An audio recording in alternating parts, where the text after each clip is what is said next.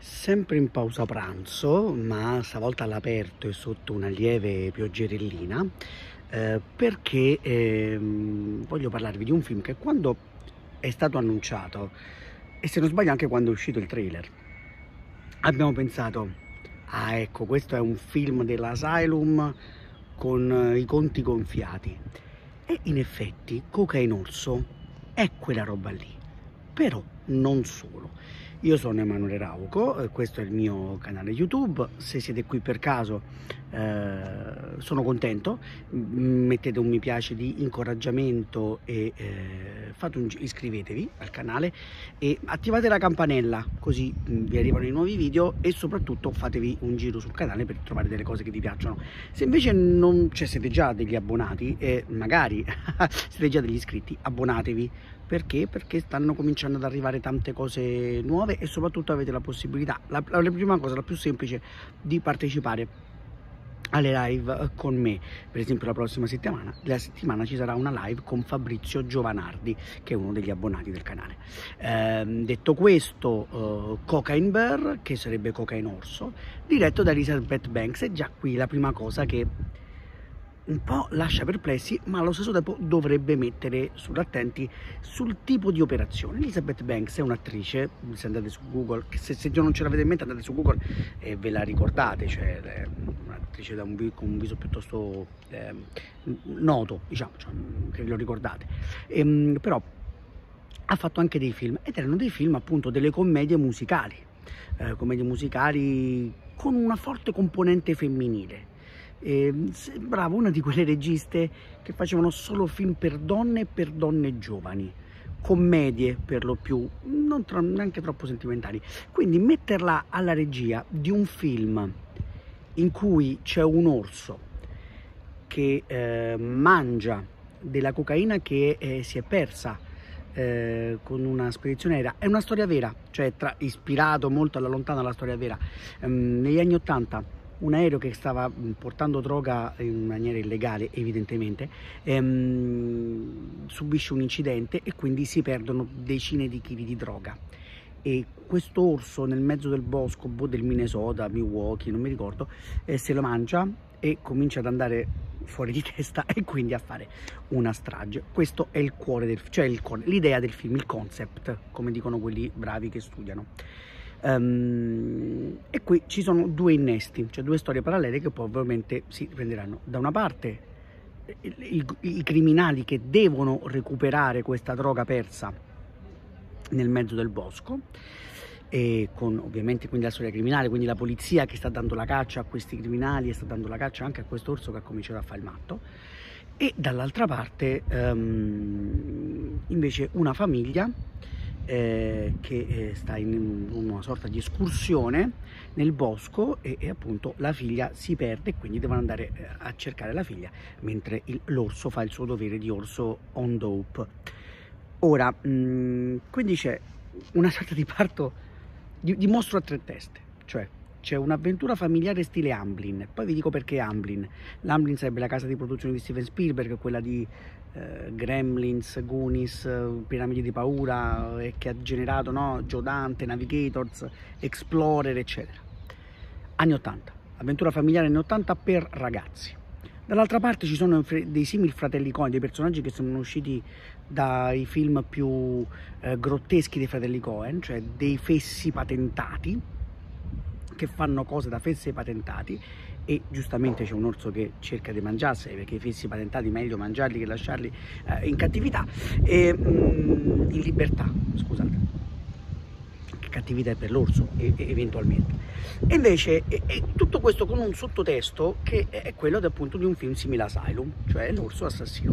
l'Asylum poi ovviamente ne ha approfittato e ha fatto subito uscire Cocaine Shark sullo squalo, eh, chiaramente, e poi se non sbaglio c'è un'altra casa di produzione di queste eh, di serie F che aveva fatto, aveva messo in cantiere, non so se è uscito per caso, Matt Gator, cioè l'alligatore sotto anfetamine, sotto Matt. Ora, detto questo, perché dico che questo mostro a tre teste è sì un film simile a Asylum, ma non solo? Beh, uh, allora, ci sono due elementi, guardiamo l'inizio e guardiamo la fine. E questi sono degli elementi che ci dicono dell'operazione. Che operazione è? poi possiamo disquisire sui risultati dell'operazione, ma arriviamo a pensare all'operazione. Comincia con il, il tizio che deve portare la droga, cioè che deve paracadutarsi con l'aereo dall'aereo che sta portando la cocaina e che appunto ha appena attraversato la frontiera, insomma le cose criminali che sappiamo, sta proprio piovendo. Sta proprio piovendo, io sono sotto un albero quindi un po' mi riparo, però forse mi conviene andare sotto, sotto il, um, il portico. Eh? Qui in realtà, pura realtà, tutta realtà per voi. Allora, dicevo, um, metto, trovo un posticino qua. Mm, eccomi qua, c'è anche un cavallo di marmo. Ecco qua. Quindi, da una parte c'è um, questo simile, il, il, il, um, il tizio si deve paracadutare e balla. Siamo a metà degli anni 80, quindi c'è una canzone di rock bianco anni 80, quindi molto leggera, molto orecchiabile. Eh? Lui balla e mentre sta per buttarsi dà una craniata in fronte, proprio come se fosse un puro film demenziale, e precipita lui con l'aereo e via dicendo.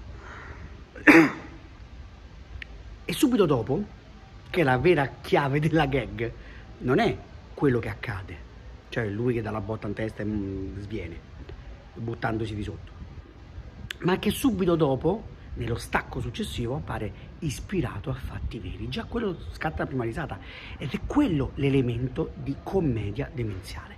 È una commedia demenziale dentro cui, un po' sulla scia di Seth MacFarlane, quindi un po' sulla scia dei Griffin, ci sono anche delle tecniche narrative che MacFarlane con i Griffin e non solo ha portato a un certo tipo di notorietà e di um, dentro il modo di raccontare di un certo tipo di immaginario comico. Gli inserti, questi brevissimi o dei brevissimi flashback usati come contrappunto comico o ancora meglio eh, dei momenti eh, in cui questi flash fanno immaginare come dire eh, i desideri dei personaggi sono degli inserti brevissimi folgoranti che fungono da gag da micro gag visive e, ehm, e poi appunto, quindi questa scritta qui spiata a fatti reali dopo una sequenza del genere scatena una grande ilarità. E dall'altra parte i titoli di coda. I titoli di coda, al di là del fatto che ci sono due brevissime scene durante i titoli, sono delle macchie di colore fluo, diciamo di colore molto acceso, molto fluo, molto acetato anni 80, che percorrono tutto il rullo dei titoli. Quindi ci sta dicendo qual è il mondo estetico in cui Cocaine Orso si basa, cioè su, su, in cui risiede. Il film è appunto, cerca di cogliere di, di queste tre teste di cui si compone l'elemento ludico. E di quell'elemento ludico che, come dire, ci va fino in fondo, cioè l'elemento ludico dello splatter digitale, che è quello appunto figlio dell'Asylum per cui questo orso un po' nel finale, adesso fa, faccio un po' di, degli, dei semi spoiler, nel finale no, con i suoi figli anche loro sotto, sotto botta, mangiano gli intestini, eh, staccano braccia, cioè fanno due cose che per un film, se io penso a un film di Universal, un film di una major, sono veramente forti, ma entrano dentro un discorso ludico e quindi possono essere eh, utilizzate in un certo senso eh, gli elementi demenziali e gli, e gli elementi orripilanti si sposano e tutto è sì un gioco, ma è anche un gioco idiota che cerca l'idiozia, che cerca lo spirito idiota della famiglia, della commedia familiare, di quel senso di familismo reazionario che gli anni Ottanta hanno, hanno, reso forte attraverso quei, quel tipo di film, ma anche attraverso le, le sitcom, sitcom familiari c'è dell'idiozia. E dov'è l'idiozia? La va a stanare. Dov'è l'idiozia nel modo di raccontare mm, un certo mondo criminale? Questo il gioco è più facile l'hanno già fatto i Cohen appunto l'ha fatto Tarantino però Elizabeth Banks ma soprattutto i suoi eh, sceneggiatori e produttori puntano lì puntano al gioco demenziale non tirandosi indietro non parandosi le chiappe attraverso il, dire, la scusa dell'ironia, ma anzi prendendo quell'idiozia sul serio e cercando di fare le cose fatte per il meglio. Anche l'utilizzo degli effetti speciali per realizzare l'orso è sempre al limite tra la perfezione e la stupidità. E quella stupidità fa parte del gioco perché non dico che ci sia una scelta sociologica dentro, no. Dico che però il gioco e il gioco idiota vengono presi sul serio, vengono assunti come principio e vengono portati al, al grado più elevato possibile. Poi è chiaro, resta qualcuno ha definito, no? un mio collega eh, Franco D'Assisti della Rosa Purpurea del Cairo su Radio 24 l'ha definito uno splatterino per 17 anni che non vedo cosa ci sia di male ma detto questo questo splatterino per 17 anni secondo me a differenza di quanto dice lui di, di quanto pensa lui secondo me invece riesce a far ridere e a far rabbrividire non solo quando vuole farlo ma spesso negli stessi momenti. La risata è il, eh, come dire, la giocosa repellenza di un certo tipo di horror di serie B e C e D e F e Z eh, stanno nello stesso cuore. E soprattutto la cialtronaggine della messa in scena di quel mondo lì, quello dell'asylum, è sempre al limite invece con una, come dire, una corposità di messa in scena che invece è quella del, eh, del film di una major.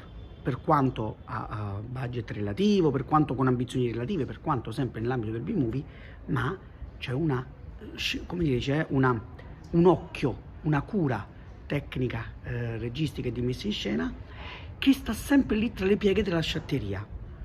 È, è, è un film veramente molto curioso perché, come dire, mi si rincorrevano nella testa delle sensazioni a volte anche opposte. Ed è per questo che dico che è vero che è un film simile a Asylum, e però non solo. Poi è chiaro, non è molto più, più non è molto di più di un grande gioco per ragazzini dentro. Però in questo mischiare tante cose che non stanno dentro insieme e nel cercare, secondo me riuscendoci, secondo altri no, penso a Stanley Kubrick che è uno dei, dei mm, recensori, dei critici, e io uso il suo nome d'arte, eh, il suo nome vero è Gabriele, è Gabriele Ferrari, eh, dei 400 calci. Eh, lui dice che non ci riesce, per me invece nel trovare questo spirito che è sempre al limite tra eh, l'idiota e l'intelligente, anzi che spesso cerca proprio il punto di intersezione tra queste due cose, riesce a tenere insieme tre film che non avrebbero niente a che spartire. Quindi io da parte mia è un consiglio che do, però dovete essere avvertiti di che tipo di gioco fa il film um, e poi ci vediamo ovviamente eh, nei prossimi video, nelle prossime live, nei prossimi podcast. Mettete mi piace, iscrivetevi e abbonatevi. Ciao a tutti